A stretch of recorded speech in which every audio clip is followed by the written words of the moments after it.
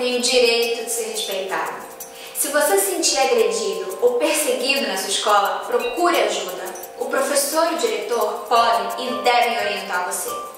Fique ligado, o Brasil só melhora com ensino de qualidade e você tem tudo a ver com isso.